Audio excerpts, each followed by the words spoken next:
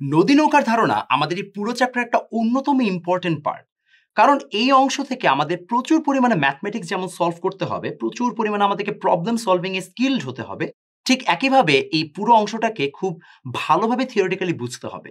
Only then আমাদের জন্য এই পুরো আইডিয়াটাকে নিয়ে এবং হচ্ছে নদী এবং নৌকা কীভাবে কাজ করে বা এখান থেকে কি ধরনের কোয়েশ্চেন আসে, সেটা নিয়ে আমরা একটা ভালো আইডিয়া পেতে পারব।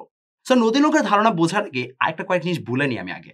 ফার্স্ট অফ অল আমরা এখানে পুরোটাই হচ্ছে ভেক্টরের বিভিন্ন আইডিয়া বা ভেক্টরের বিভিন্ন হচ্ছে যে অ্যাসপেক্ট থেকে হচ্ছে জিনিসটাকে সলভ করছি।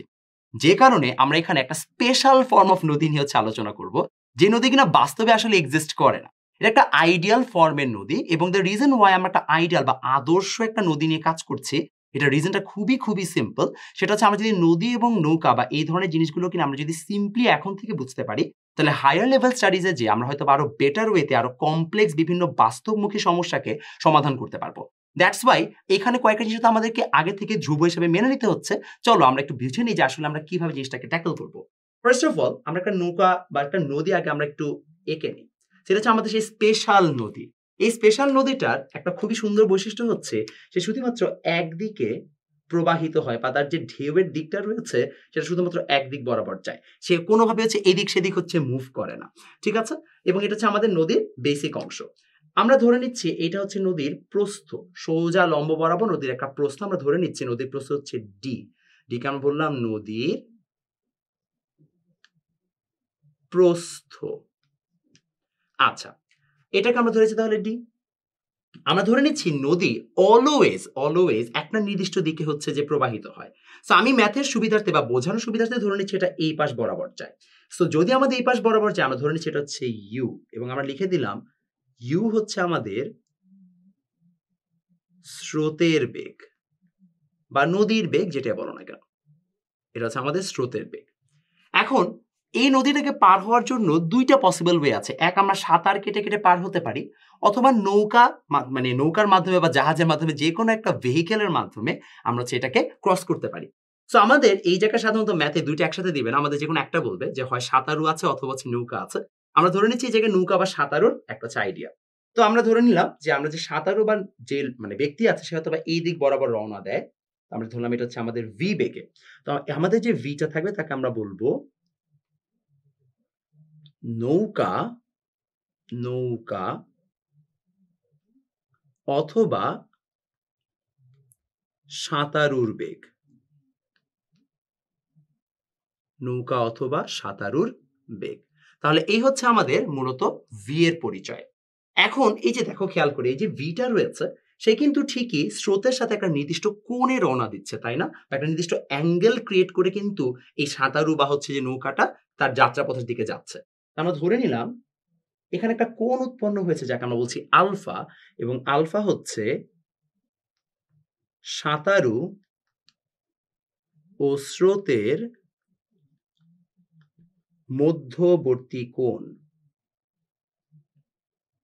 সাঁতারু স্রোতের মধ্যবর্তী কোণ। খেয়াল করে দেখো ভি আছে ইউ আছে। তুমি এখন এই দিক বরাবর রওনা দিয়েছ এবং নদীর যে স্রোতটা রয়েছে, সেটা এই দিক বরাবর তোমাকে টেনে দিচ্ছে। এর অর্থ হচ্ছে অবশ্যই অবশ্যই তুমি কিন্তু এই ভি বরাবর বা এই দিক বরাবরই কিন্তু তুমি হচ্ছে নদী ক্রস করবে না। তুমি বরং ইউ এবং বি এর একটা লব্ধি বেগে এই নদীটাকে ক্রস করবে, তাই না? এবং আমরা ধরে নিলাম এই লব্ধিটা হয়তো বা এই দিক বরাবর যাচ্ছে। তার আমরা ধরে নিচ্ছি এখানে আমাদের একটা লব্ধি উৎপন্ন হয়েছে আর যাকে আমরা বলব হচ্ছে আমাদের লব্ধি বেগ। এবং আমরা মূলত এই বেগ এবং এই দিকেই কিন্তু নদীটাকে ক্রস করব। আমরা ধরে নিচ্ছি এই যে আমাদের আর রয়েছে, সেই আর একটা কোণ উৎপন্ন করে, যাকে আমরা বলছি থেটা আমরা বলছি থেটার পরিচয় হচ্ছে স্রোতের সাথে, খেয়াল করে দেখো, স্রোতের সাথে সাঁতারুর লব্ধি বেগের, তুমি এখানে নৌকাও লিখতে পারো, সাঁতারুর লব্ধির মধ্যবর্তী কোণ। মধ্যবর্তী কোণ হ্যাঁ। তাহলে আমরা বলতেই পারলাম যে আমাদের এখানে থেটাটা হচ্ছে স্রোতের সাথে সাঁতারুর লব্ধির মধ্যবর্তী কোণ। তাহলে আমরা এভাবে মূলত তিনটা কয়েকটা ইনফরমেশন পেয়ে গেছি।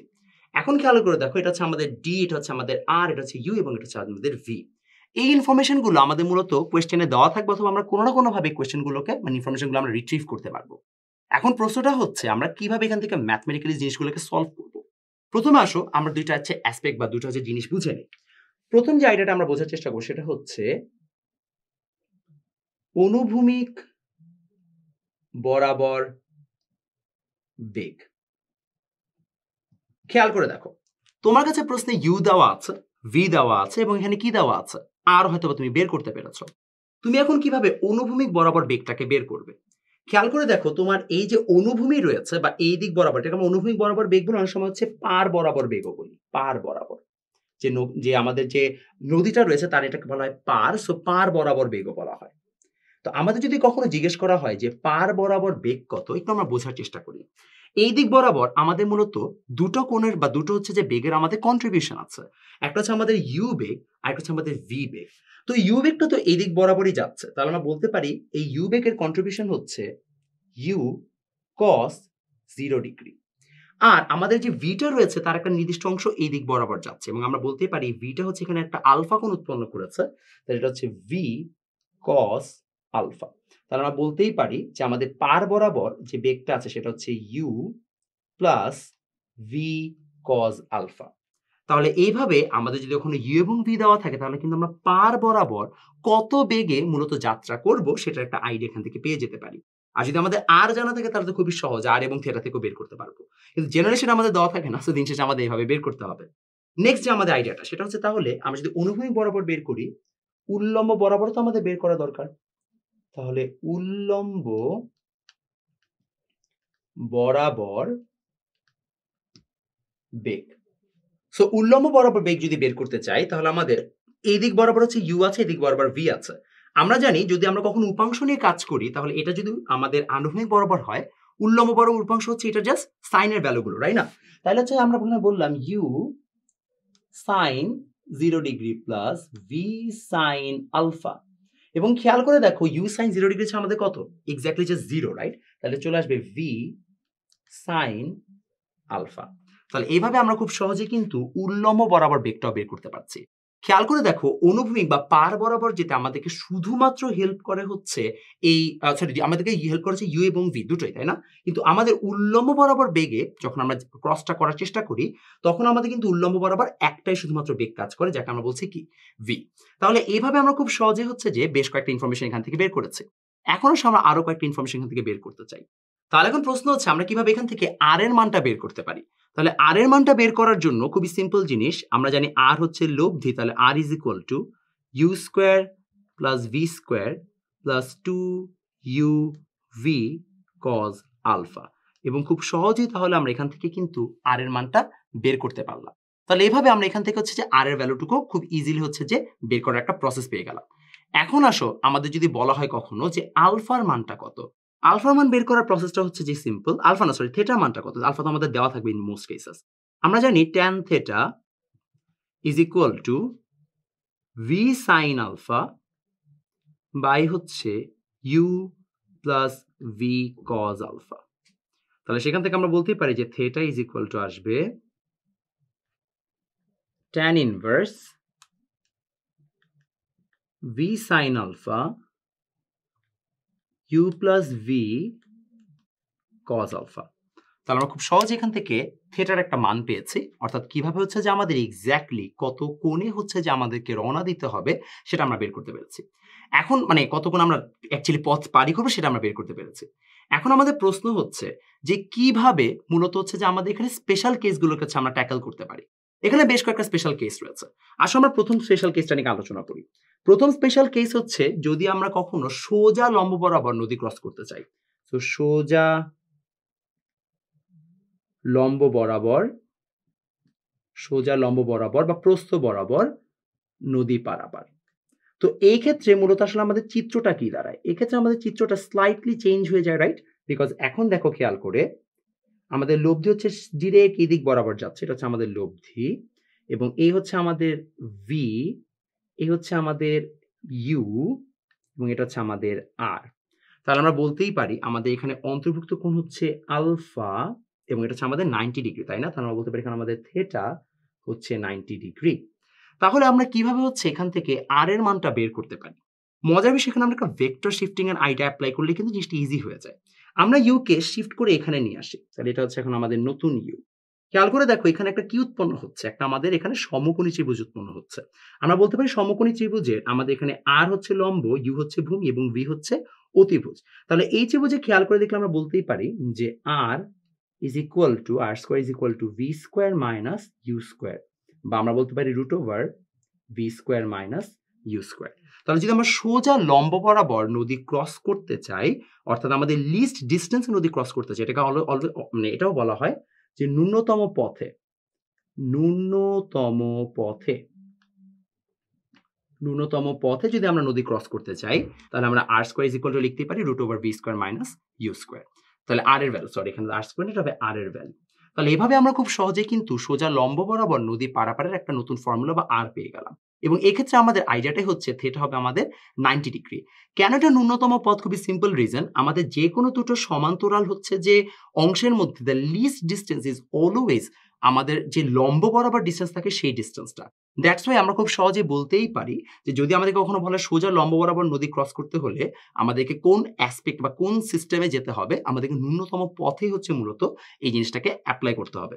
তারা খুব সহজ হচ্ছে এই অংশটুকু পেয়ে গেছে।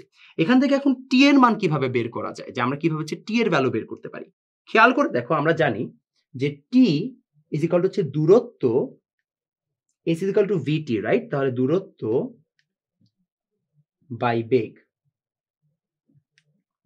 তাহলে এটা হচ্ছে আমাদের যদি এই সোজা লম্ব বরাবর নদী পারাপার করতে হয়, তাহলে আমাদের এখানে টি এর মান বের করতে হবে। দূরত্ব কীভাবে আসে? দূরত্ব হচ্ছে আমাদের মূলত এই জায়গায় ডি আর বেগটা হচ্ছে আমাদের আর তাই না? আমাদের লোক দিবে। এবং আমরা অলরেডি জানি যে আর মানেই হচ্ছে root over V square minus U square তাহলে খুব সহজে আমরা কিন্তু এই জায়গায় টি এর মানটাকে বের করে ফেলতে পারলাম। যে এক্স্যাক্টলি কতটুকু সময় আমরা হচ্ছে সোজা লম্ব বরাবর নদীটাকে ক্রস করব।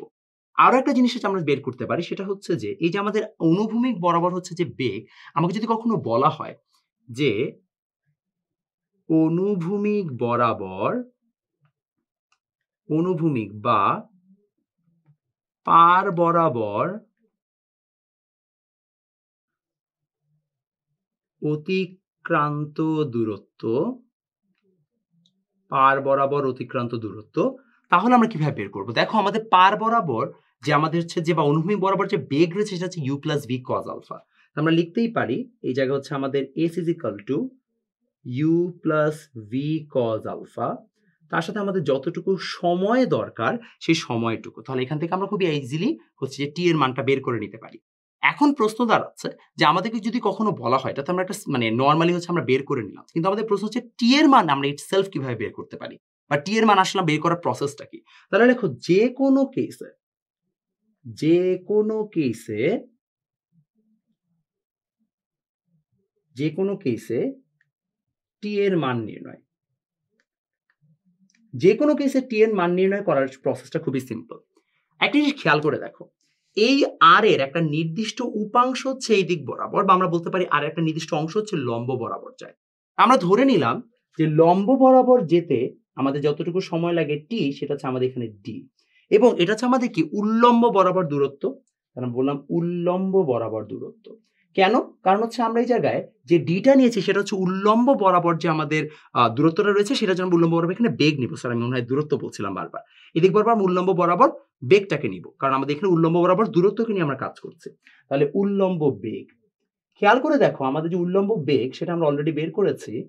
উল্লম্ব বেগ হচ্ছে আমাদের এখানে ভি সাইন আলফা তাহলে যে কোনো ম্যাথের ক্ষেত্রে যদি আমাদেরকে বলা হয় যে তুমি টি এর মানটা বের করে দেখাও যে আমাদের নদী ক্রস করতে কতটুকু সময় লাগবে ফর্মুলা খুবই simple D by V sine alpha D হচ্ছে আমাদের নদীর প্রস্থ এবং ভি সাইন আলফা হচ্ছে আমাদের মূলত এই যে উল্লম্ব বরাবর নদীটাকে ক্রস করার জন্য কতটুকু পরিমাণ বেগের একটা কন্ট্রিবিউশন আছে বা কতটুকু পরিমাণ হচ্ছে আমাদের আর আছে, সেটা হচ্ছে মূলত আমরা এখানে অ্যাপ্লাই করছি। তাহলে এইভাবে আমরা মূলত যে কোনো ম্যাথের জন্য নদী এবং নৌকার ধারণা কিন্তু সলভ করে ফেললাম।